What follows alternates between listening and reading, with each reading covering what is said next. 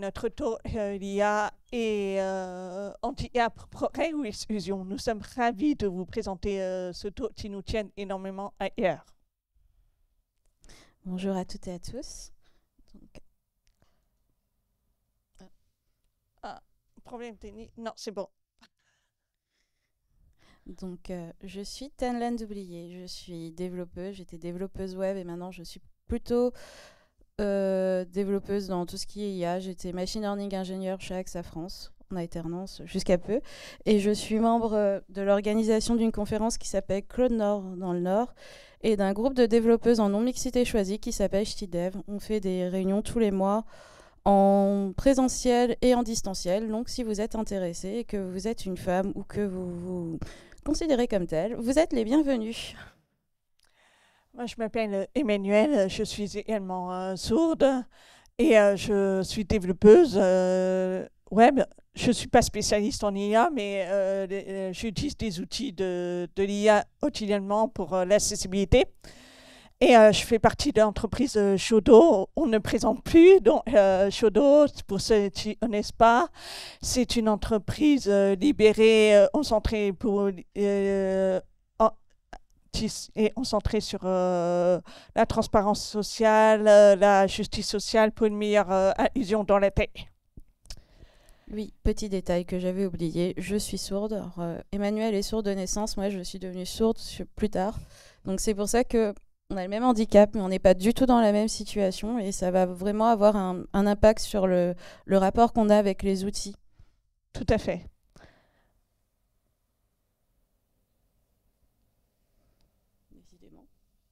Voilà. Vas-y. Alors, déjà, l'intelligence artificielle, qu'est-ce que c'est? Je vais vous donner un exemple tout simple. Les logiciels classiques, c'est un peu une recette de gâteau. On met des if, on met des else. Si j'appuie sur ce bouton-là, j'arrive sur cette page. C'est très simple. C'est quelque chose de... Il n'y a, pas de voie de secours qui n'est pas prévue par le développeur. Par contre, pour l'intelligence artificielle, est-ce que tu peux passer à la slide après, s'il te plaît?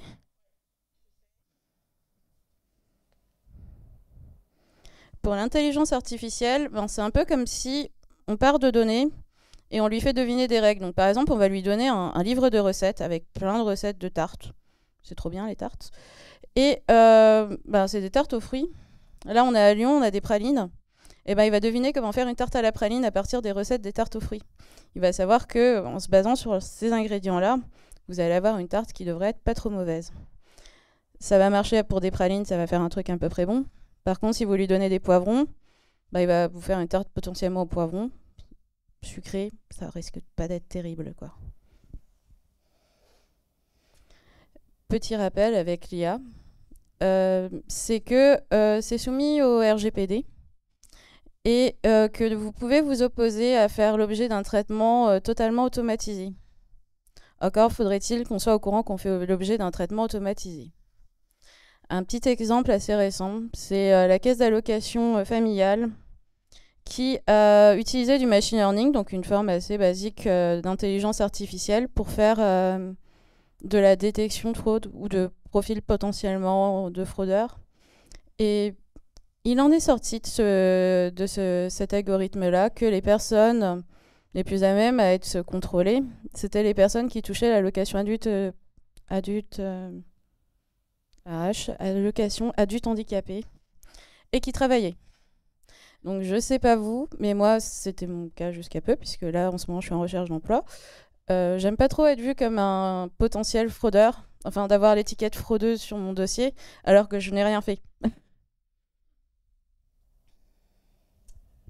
Euh, avant d'aller plus loin, nous allons vous faire un état des lieux sur le handicap. Euh, Il faut savoir une personne sur six est handicapée en France. Et en ces sous un chif- chiffre sous-estimé, nous sommes 12 millions de personnes handicapées en France, mais combien de personnes ne sont pas- n'ont pas été diagnostiquées avec un handicap, ou préfèrent pas déclarer leur handicap, ou ne savent pas qu'ils ont un handicap? Donc, ah, c'est vraiment un chiffre euh, totalement sous-estimé. et on pense qu'il y a plus de population, on croit plus de 12 millions. Il y a certains qui estiment ça va chuter peut-être euh, moins de 15 millions, mais voilà, c'est un chiffre vraiment sous-estimé. Et il faut savoir qu'il y a plusieurs, une large diversité d'handicap en France. Il y a un chiffre qui circule, c'est 80% des handicaps est invisible. Et or, c'est un, euh, il y a un lien de qui dit euh, on ne sait pas d'où sort ce chiffre. Mais ce sûr, c'est que euh, la majorité des handicaps sont invisibles. Avant de nous, on, on, parle, vous ne saviez pas, et moi j'étais sourde. Et Tanan est sourde, ça ne se voit pas, nos appareils ne se voient pas. Par contre, on voit bien Tanan avec son fauteuil roulant. Elle a à la fois un handicap visible et invisible. Tandis que moi, ça ne se voit pas du tout. Et du coup, là, on avait plusieurs familles euh, de handicap. On a le handicap moteur, le handicap sensoriel, le handicap intellectuel, le handicap psychique. Et on considère aussi les maladies invalidantes euh, fait partie de la famille des handicap parce que les maladies les cancers ou euh, la maladie de Charcot, euh, la maladie de Parkinson, etc., et ça entraîne euh, à une période de plus ou moins longue, un, un handicap à long terme. Et euh, tout comme l'endométriose, qui est considéré aussi comme un handicap parce qu'on est, euh, il y a des femmes qui peuvent se retrouver immobilisées, voire handicapées pendant plusieurs jours avant de reprendre le haut normal. Donc voilà, c'est vraiment important de vous préciser ces informations-là. Alors là, je vais vous demander de, réfléchir, enfin plutôt d'imaginer que vous êtes dans une équipe où vous êtes euh, en train de développer des solutions avec de l'intelligence artificielle. Vous êtes dans une équipe avec des data scientists, des machine learning ingénieurs, des software ingénieurs. Et dans cette équipe, ben, on va commencer par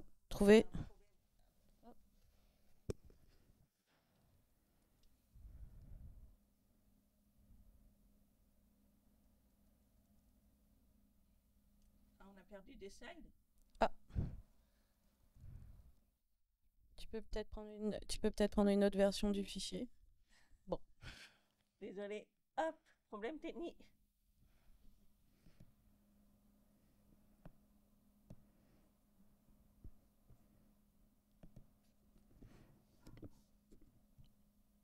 Hop. Ah mais euh, c'est bon, on est dans... C'est bon? Bon. Non, il a l'air bien celui-là. Non, c'est bon en fait. Ok, c'est moi qui me trompe, je suis désolée. Comme je. Les slides, elles sont derrière moi, c'est pas forcément très simple. Donc, euh, on va voir un peu comment ça fonctionne en, pratique. On se dit que par exemple, on veut générer des images de personnes handicapées, par exemple, pour faire euh, des brochures.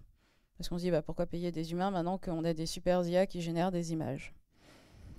Je vais me baser sur euh, ce qu'on voit sur Internet. Alors là, va falloir me croire parce que la vidéo, euh, elle n'apparaît pas, mais on a fait euh, une petite capture vidéo de ce qu'on a quand on tape personne handicapée sur Google, c'est-à-dire un joli florilège qui vient d'apparaître de fauteuil roulant.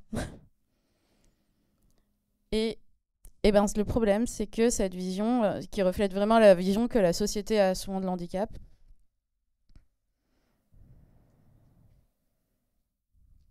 Tu peux passer à la slide suivante. Euh. Tu n'y arrives pas? Je suis désolée pour le problème technique.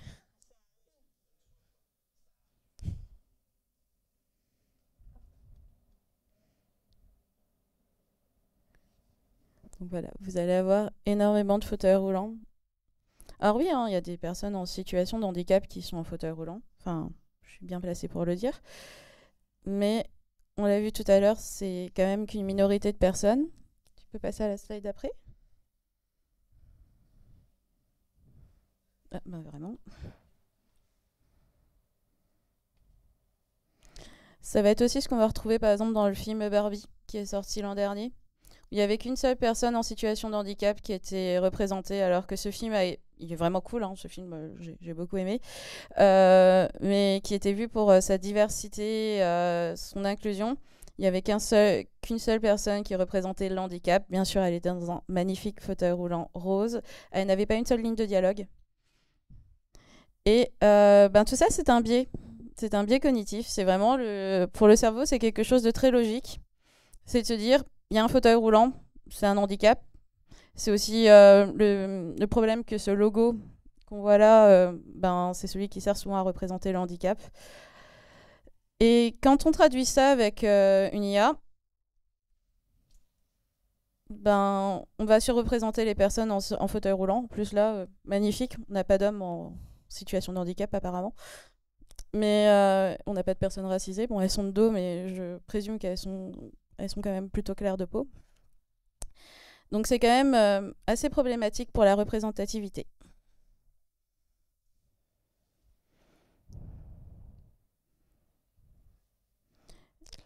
Euh, donc, euh, on va vous montrer, on s'est posé cette question-là. Est-ce que l'IA a-t-elle des biais sur les autres anti-apps? C'est une question que Jérémy Andrews Davies se l'est posée. Et on vous invite à euh, bien regarder la vidéo qui est vraiment importante parce que euh, lui-même, il est autiste. Il est autiste et, euh, il a demandé à Midjourney de générer des, euh, des personnes autistes parce que la représentation des personnes handicapées est honte. Et donc, regardez bien ces, photos. Tu dis, voilà, euh, génère-moi des personnes autistes. Et à chaque fois, c'est des hommes qui ont des visages tristes, euh, dépressifs, avec un visage plutôt bizarre, tous des hommes blancs. Au niveau de diversité, on en passera. Mais euh, pourquoi euh, les personnes autistes doivent se représenter comme ça? Dans la réalité, elles ne sont pas du tout dépressifs, elles ne sont pas du tout tristes, elles ont un regard lointain et tout ça. Et les femmes autistes existent aussi aussi. Et en fait, euh, y a, euh, Midjourney a une, euh, mauvaise euh, image du handicap. Le, handicap, c'est euh, une, notation négative. Et du coup, bah, il faut représenter des hommes tristes et déprimés. Alors, on ne devrait pas. Et il a fait le test sur 100 images. Et à chaque fois, c'est toujours le même résultat. C'est un problème.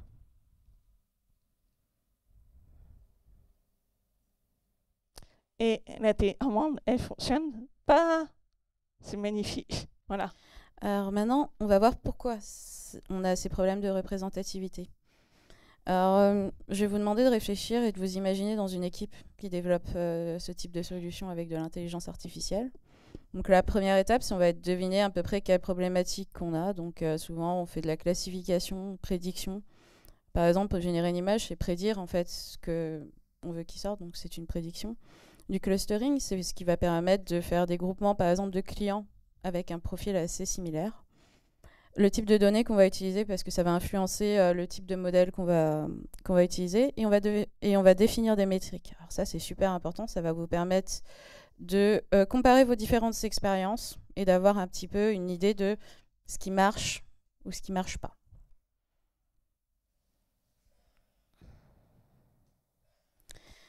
On va prendre comme modèle les voitures, parce que les voitures, c'est un peu comme les gens. Il y en a toutes les sortes. Euh, vous avez la Citroën Ami, et puis vous avez des Ferrari et des limousines. C'est toujours des voitures, mais ça n'a pas trop quand même la même forme. Donc, euh, on va passer par une phase d'exploration des données. Et moi, l'exemple que j'aime bien donner, mais ça marche vachement moins bien ici parce qu'on est quand même vachement plus diversifié à, Mixit qu'on l'était la semaine dernière à Devox, c'était de dire vous prenez euh, ben, tous les gens que vous, vous, croisez à la conférence. Et ces gens-là, ça va être vos voitures. Et ben, par exemple, si je prends une conférence euh, tech classique, on va dire, euh, qui n'a pas beaucoup d'inclusivité pas beaucoup de diversité, vous allez avoir beaucoup de profils un peu similaires, des hommes blancs, euh, à peu près du même âge. Par exemple, la semaine dernière, Emmanuel nous a demandé de retrouver un homme avec des cheveux longs et une barbe. On était à Devox, c'était un peu compliqué. euh, eh ben, ça va être la même chose pour ces voitures. Et en fait, ça, ça va influencer vos modèles. Parce que vous allez devoir faire des choix. Par exemple, Emmanuel et moi, on n'est pas les profils types de développeuses. Euh, typiquement, on est des femmes. Déjà, dans le milieu de la tech, euh, c'est pas ce qu'il y a de plus courant. On est, et on est handi. Donc, ça fait deux points qui nous mettraient, si on devait mettre toutes les personnes de la conf sur un graphique, ben, on serait des petits points un petit peu vous savez, dans un petit bord, là, euh, on ne sait pas trop quoi en faire. Le problème, c'est que ces petits points-là, euh, en marge du truc, ben, ça va fausser vos résultats. Souvent, ça va créer du bruit qui vont rendre votre modèle moins performant. Et donc, vous, en tant que concepteur, vous allez devoir vous poser des questions. Qu'est-ce que je fais de ces petits points isolés? Alors, souvent, l'idée qu'on a, c'est de se dire, oh, ben, on va les supprimer. Ben, nous, on n'a pas trop envie d'être supprimé de la tech, on n'a pas trop envie d'être supprimé de la représentativité. Et et ça, c'est vraiment quelque chose, c'est de se dire, on a un impact. Quand euh, vous développez ces modèles, vous faites des choix. Vos choix ont des conséquences. Après, on va sélectionner et entraîner les modèles. Donc là, on va, souvent, on, va tenter plusieurs, on fait des différentes expériences pour voir qu'est-ce qui marche, qu'est-ce qui ne marche pas. Et là, on peut avoir aussi un petit biais d'évaluation, c'est de se dire, euh, bon, on avait, on avait pris des métriques, sur vos jeux de données, vous avez gardé une partie des données pour tester ce que vous avez fait, pour avoir un, peu un élément de comparaison. Et bien quand vous testez, vous vous dites ouais c'est bon, je suis plutôt performant. Donc déjà un modèle il fait toujours des erreurs parce que sinon il a tendance à overfitter, c'est-à-dire qu'il va être bon sur les données qu'il connaît, mais pas sur ceux qu'il connaît pas. Et c'est ce qu'on, c'est pas ce qu'on cherche avec un modèle en intelligence artificielle. Mais le biais d'évaluation, c'est de vous dire, ben, en fait, sur votre jeu, sur votre jeu d'évaluation, c'est bon. Mais dans la réalité, ben, c'est pas bon. Par exemple, un exemple tout bête, il y a quelques années, mais ça continue encore un peu maintenant, beaucoup de monde montrait des modèles qui permettaient de reconnaître des signes de la langue des signes américaines, parce que les données étaient disponibles assez facilement en ligne. Le problème, c'est que ces gens disaient, ouais, regardez, ça va révolutionner la vie des sourds, même en France. Bah, alors moi déjà, je suis sourde, je signe pas. Donc en gros, euh, bah, ça changera rien ma vie. Emmanuel signe. Le problème, c'est que c'est en ASL, donc euh, ça veut dire la langue des signes américaine. Emmanuel est française. Donc je suis pas sûre que ça t'aide aussi non plus dans ta vie. Donc en fait, à toutes les étapes de création de ces projets, vous allez avoir des impacts, vous allez faire des choix qui peuvent impacter positivement, mais aussi surtout négativement vos utilisateurs. Après, on va mettre en production. Donc là, c'est un peu vrai comme tous les projets informatiques. Vous allez avoir des questions de euh, euh, il faut que ce soit maintenable, euh, les coûts doivent être ben, pas trop élevés parce que sinon on vous tape quand même sur les doigts. mais il va y avoir la contrainte aussi de surveiller ce modèle, donc de toujours avoir du monitoring sur les résultats parce qu'il y a des questions de fiabilité. On va parler de solutions, par exemple comme le sous-titrage automatique. Ben, si vous avez un sous-titrage automatique qui va en cacahuète, nous c'est notre compréhension qui part en cacahuète et c'est pas terrible. Et il faut euh, réentraîner modèle, parce que le truc, c'est que les données, ils changent. Euh, par exemple, si je prends les histoires de langue des signes française, bah, il y a des nouveaux signes qui apparaissent tout le temps. Donc en fait, les modèles, il faut les réentraîner tout le temps, parce qu'il faut qu'ils s'adaptent au changement euh, de contexte de votre application. Et ça, ça arrive vachement moins souvent sur les programmes un peu plus classiques.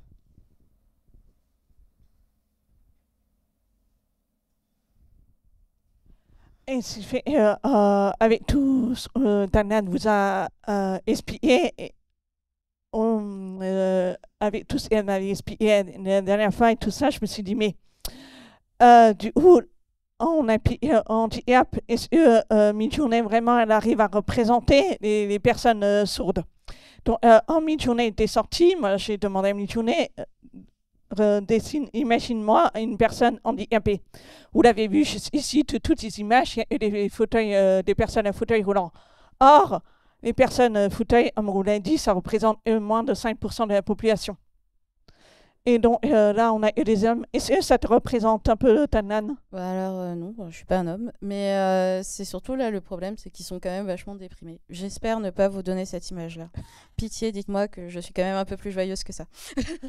et moi, je suis pas en fauteuil roulant. Du coup, j'ai redemandé à Midjourney de me générer une femme sourde. Ça a généré une vieille, vieille, vieille dame. Est-ce que j'ai l'air d'être âgée? Tanan, t'es vieille? Non, non, non, notre ego a pris quand même euh, très cher quand on a fait ces expériences. Hein. Ouais, et en plus, euh, il faut savoir, la surdité, ça peut concerner à tout âge.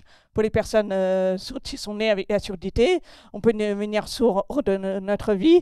Et bien évidemment, les personnes âgées, ils perdent l'audition. Et les, on perd l'audition, on n'est pas tout le temps en train de nous dire Roi, hein, est-ce que vous dites? Me dit le professeur Tournesol, on a nos appareils qui nous permettent de vous entendre c'est une merveille de la technologie. Euh, non, ça ne représente absolument pas. On fait un dernier test. On, demande à mi-journée de générer une femme sourde développeuse, parce que la représentation des personnes handicapées honte. Et nous sommes tous les deux développeuses. Ça a généré des opératrices. Euh, et vous dire, euh, moi, je m'en ai absolument pas dans cette dame. Bien, la surdité en même un handicap invisible on n'est pas avec nos S. Danan, expliques ça bah Là, le, problème, c'est qu'on est une minorité dans la minorité, en fait. Il faut se dire que l'intelligence euh, artificielle repose sur les statistiques. Et statistiquement, bah, en fait, on a peu de chances d'être sourde et développeuse. En plus, en étant une femme.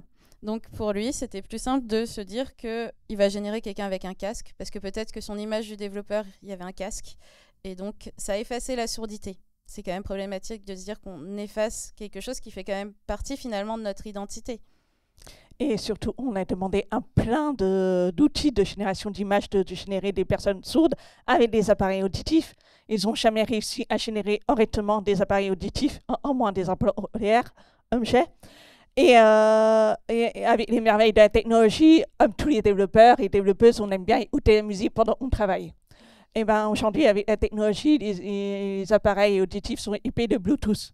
Donc, on peut écouter la musique en Bluetooth sans que personne ne sache. On peut téléphoner sans que personne ne sache. C'est connecté directement à nos téléphones. C'est magique.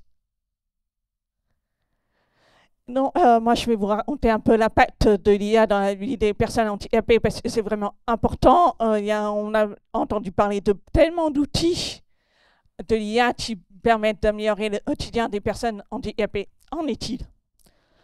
Donc, je vous présente plus euh, le sous-titrage et la transcription automatique. On voit ça partout, sur tous les réseaux sociaux, euh, dans les conférences, euh, dans, les vidéos. D'ailleurs, la semaine dernière, on était à Devos. Ils ont utilisé le sous-titrage automatique. Ça a plus ou, plus ou moins bien marché comment vous dire, euh, les, euh, les, conférences non techniques, ça a bien marché généralement. Mais pour les conférences techniques, euh, avec des termes très techniques et anglophones, on a eu des perles, mais vraiment très embarrassantes. Là, on est, c'est du sous-titrage qui, c'est de la vélotypie, donc réalisé par des personnes derrière, et c'est quand même formidable. Enfin, nous, notre compréhension est grandement améliorée par ces outils et par ces personnes qui sont derrière. Et il faut se dire aussi, c'est que, bah, on est sur toutes les deux, on fait le même métier. Et pour autant, on n'utilise pas les mêmes outils. Le sous-titrage euh, automatique va pas du tout avoir le même euh, réaction avec la voix d'Emmanuel que la mienne. On s'est remarqué vraiment beaucoup la semaine dernière parce que euh, la qualité des propos d'Emmanuel était beaucoup moins bien sous-titrée. Et moi, ça me pose quand même un gros problème. C'est de se dire, Emmanuel, ce qu'elle dit, c'est important. C'est tout aussi important que ce que je dis. Et je ne comprends pas que on... Enfin, je comprends comment ça marche euh, techniquement, il n'y a pas de souci, mais je n'accepte pas bien le fait que euh, les propos d'Emmanuel soient moins bien retranscrits que les miens. Son message est tout aussi important. Surtout, on ne peut pas dire à l'IA en direct pendant les conférences ou pendant les lives, euh, là tu t'es trompé, tu peux corriger. On ne peut pas interrompre euh, les réunions. On ne peut pas interrompre les speakers en train de parler. Tu dis, ah, attends, excuse-moi, mais l'IA s'est trompé, et tu peux répéter s'il te plaît. Ben non, ben, il va continuer à faire la présentation, donc on ne peut pas lui faire pause. Et du coup, il va continuer à faire des erreurs. Mais tandis que et euh, si on visionne une vidéo qui n'est pas en direct, dont vous créez la vidéo, vous mettez en ligne, vous pouvez utiliser des outils de sous-titrage automatique pour faire les sous-titres parce que c'est plus rapide. Il y a les outils qui sont faits, il y a la synchronisation qui sont faites. Mais n'oubliez pas de corriger derrière, de corriger les erreurs de l'IA parce qu'il y en a quand même beaucoup. Et dit, euh, Tannan, euh, on ne prend pas honte les voix des personnes qui ont un accent ou des voix atypiques qui ne sont pas euh, présents dans l'IA. Donc c'est vraiment important de, corriger les erreurs pour que l'IA puisse apprendre de ces erreurs. plus on sera nombreux à corriger les erreurs, mieux les résultats seront meilleurs. Dans les phases de rentraînement que je disais tout à l'heure, euh, ça permet de prendre en compte ces données qui n'étaient pas dans les datasets euh, souvent de départ. Et en plus, l'avantage du sous-titrage automatique, c'est que ça a été une mesure d'inclusion, dans le sens où euh, les sous-titres étaient quand même assez minoritaires au début. Et depuis qu'il y a les sous-titrages automatiques, ça s'est généralisé plutôt sur les réseaux sociaux, notamment Instagram. Et maintenant, la majorité du contenu d'Instagram est euh, consommé avec des sous-titres. Donc, ce qui était devenu avant une mesure d'accessibilité pour les personnes sourdes et malentendantes, c'est devenu quelque chose qui vous permet de toucher votre cible. Donc, euh, nous, on aime beaucoup l'idée de se dire que ben, c'est plus quelque chose qui est fait spécialement pour nous, un peu comme une rampe, mais que c'est quelque chose qui sert à tout le monde. Euh, et il n'y a pas eu les sous-titres euh, qui ont un impact quotidien. Il y a aussi euh, d'autres applications MSI AI, vous avez sûrement entendu parler, qui est une application de Microsoft qui agit comme une caméra parlante qui va scanner euh, tous vos environnements.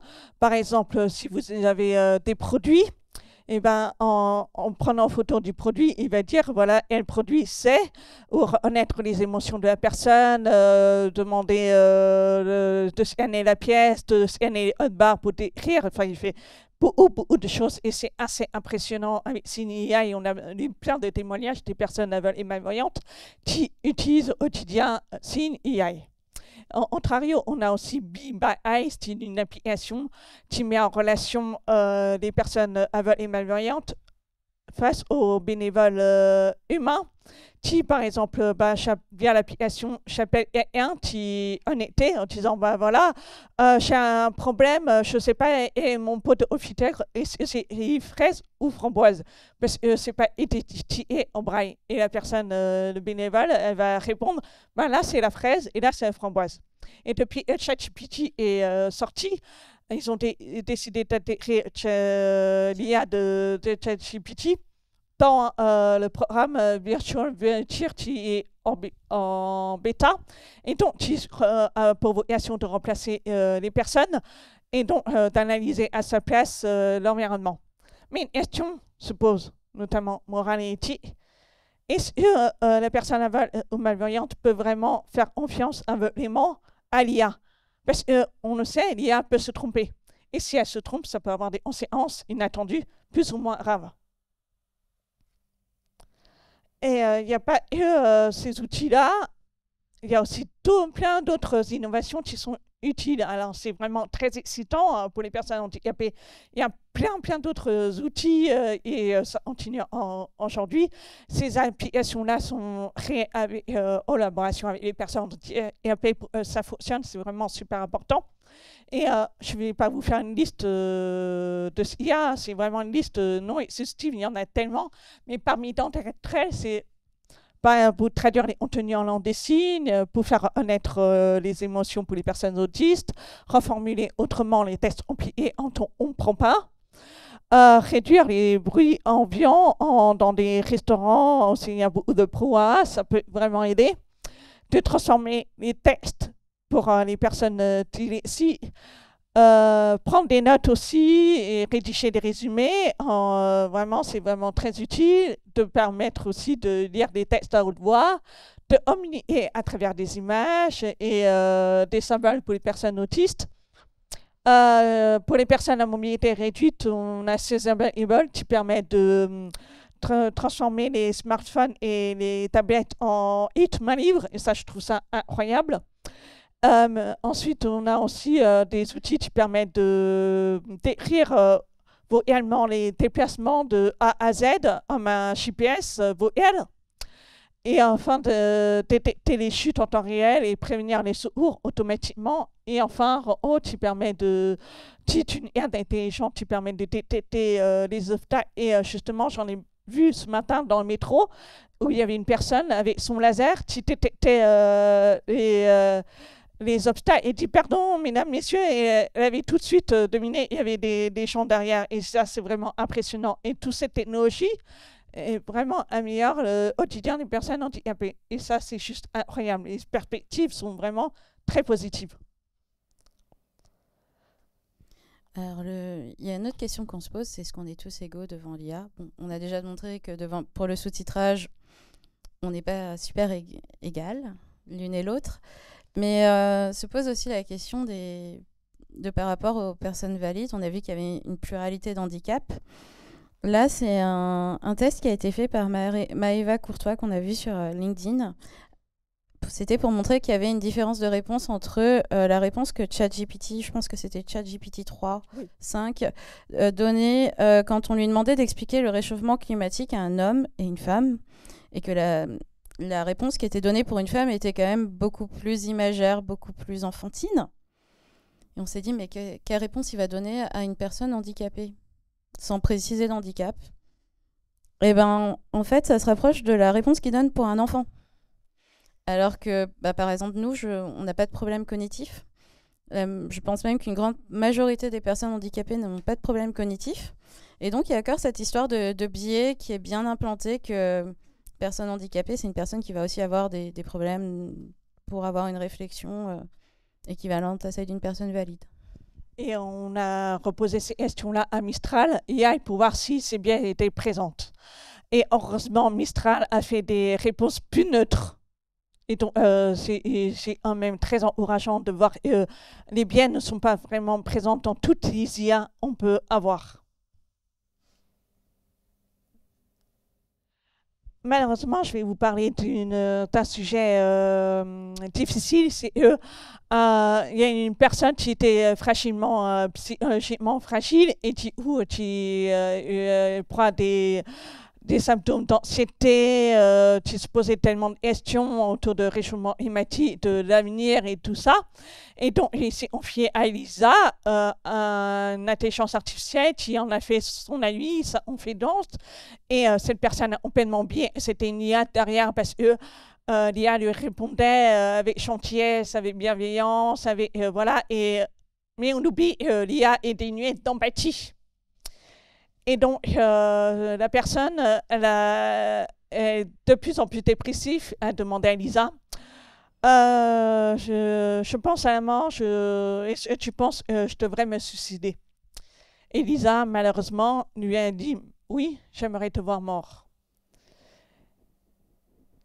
Oui, c'est un sujet vraiment tabou, mais c'est important pour nous d'en parler, euh, de dire que voilà, l'IA, c'est pas une personne.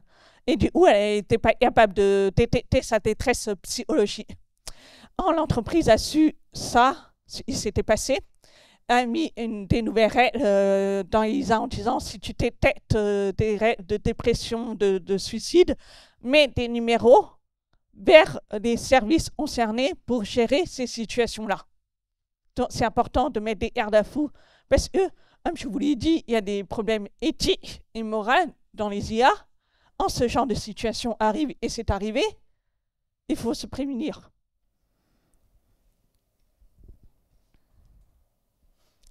Et on a aussi euh, on a tendance à déformer les idées euh, réalité.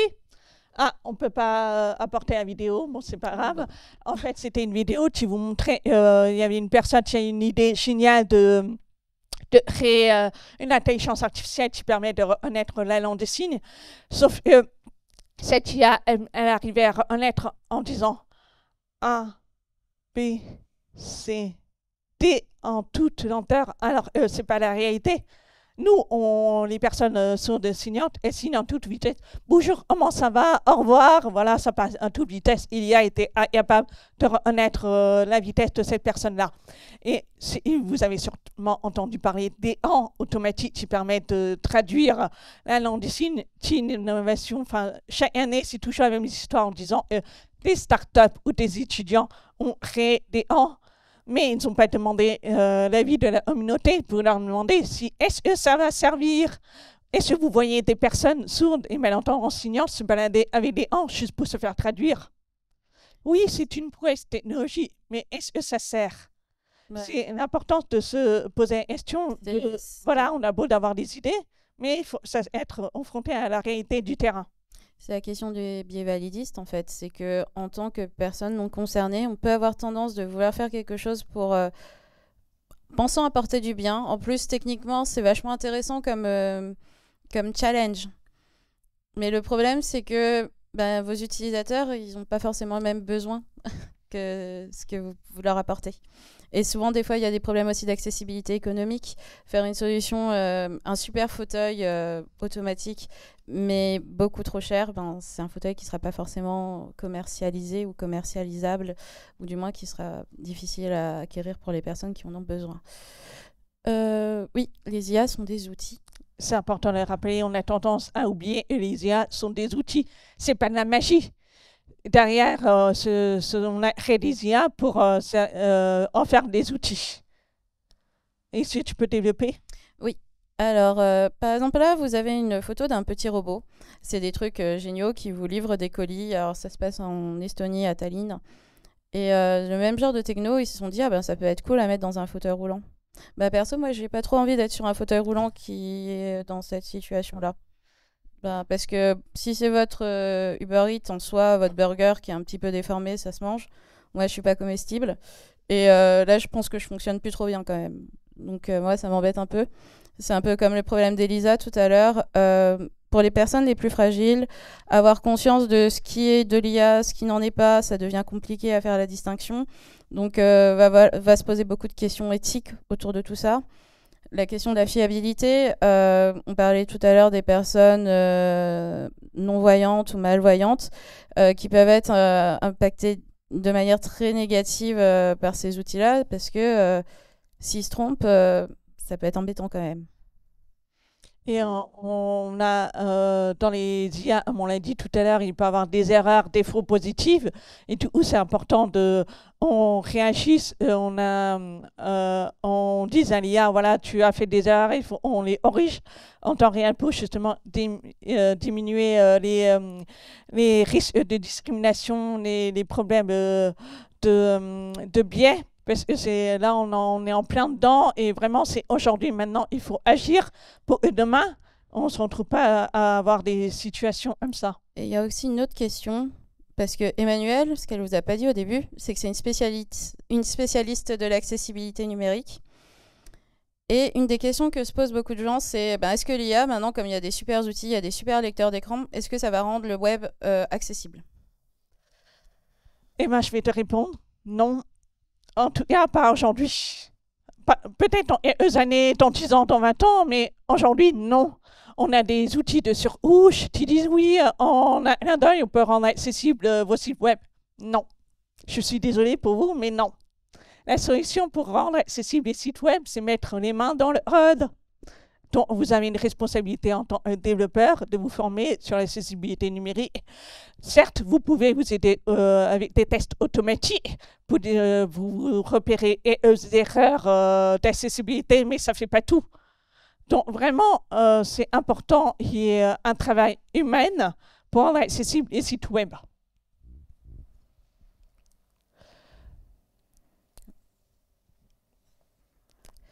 L'IA a vraiment changé nos vies, comme on disait tout à l'heure. Euh, moi, quand j'ai perdu l'audition, j'avais 12 ans, j'en ai 30 maintenant. J'aurais jamais pu penser que je puisse travailler dans un milieu comme l'IT, parce qu'on a beaucoup de visio, parce qu'on a beaucoup de, calls. On, travaille avec des gens à distance. Cette conférence n'aurait pas pu exister sans les outils qu'on a maintenant. Euh, Emmanuel est sourde, moi aussi je ne sais pas si vous imaginez se dire que euh, ben, sans entendre, on peut créer une conférence alors que Emmanuel habite à Paris, j'habite à Lille, qu'on a fait ça en quelques après-midi. C'est incroyable. Euh, l'autonomie qu'on a gagnée, euh, ça a réellement changé nos vies. On est beaucoup plus incluse, je pense, dans la société qu'on l'aurait été sans toutes ces technologies. Mais on, veut croire que ça va changer euh, positivement nos vies, encore, et que ça va changer la vie de beaucoup de monde. Mais voilà, il ne faut pas oublier euh, tous les problèmes qu'on a essayé de soulever pendant cette conférence. Oh, je vois sur les réseaux sociaux, on a généré des super images, nos représentants qui leur ressemblent. Moi, j'ai essayé de me ôter en me disant oui, je voudrais une image générée par l'IA parce que je ne suis pas du tout designer, de me représenter moi avec des appareils auditifs j'ai fait je sais pas combien d'essais et j'ai laissé tomber parce que j'y arrivais pas. et euh, franchement, l'IA euh, a a quand même euh, vraiment changé ma vie comme c'est de Tannen, euh, les sous-titres automatiques, même si on ne peut pas utiliser à 100%. Mais euh, il y a des outils qui nous permettent de- d'aider, de, de de faire, faire les traductions automatiques. On parle des personnes euh, étrangères, de, euh, voilà, euh, si tu as eu des problèmes de, chute, euh, l'IA t'a aidé à ré- résoudre ces problèmes-là. C'est vraiment excitant. Et euh, commencé dans ce métier, enfin, quand j'ai grandi avec les technologies, souvenez-vous de MSN, qui m'a permis d'ouvrir euh, sur le monde, qui m'a permis de avec euh, le monde. Aujourd'hui, grâce à l'IA, on peut davantage communiquer avec le monde. Et ça, je trouve ça incroyable. Ah. En l'espace de 20 ans, 30 ans, quel Un- point la technologie un évolue autre et exemple. elle va évoluer en demain. Un autre exemple très actuel, c'est les podcasts. Les podcasts, jusqu'à euh, il y, a- très peu de temps, c'était totalement inaccessible pour nous. On ne comprenait pas l'intérêt du truc. Ça nous demandait soit trop d'énergie, soit euh, carrément on n'y comprenait rien. Et maintenant, il est possible d'avoir des résumés des podcasts, on peut avoir des transcriptions des podcasts. Et, et ben ça, ça va nous ouvrir à tout un contenu auquel on n'avait pas accès encore il y a quelques semaines. Moi, je trouve que c'est quand même vachement encourageant pour le futur. Or, il y a certaines boîtes qui sont bonnes qualité et d'autres euh, moins bien les sous-titres automatiques, c'est aléatoire, mais on a la chance de- d'accéder bon contenu avec des bons. euh, euh, les sous-titres automatiques fonctionnent bien. Là, on est bien contente. Et on a un message à vous faire passer. Nothing about us without us. Rien sur nous sans nous. Vous avez vu tous les outils qui ont été créés avec les personnes concernées. Si euh, un des ans vous créez des ans sans euh, l'aval des personnes concernées, ça ne marchera pas.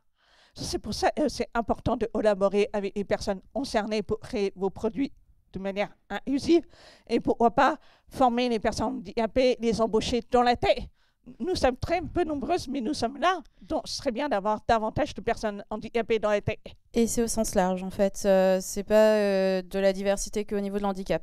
Il faut de la diversité au sens large dans la tech, c'est-à-dire des personnes, des femmes, des personnes racisées. Et c'est comme ça qu'on pourra lutter contre des biais. Parce que quand vous avez été confronté à des discriminations, vous allez être un peu plus sensible.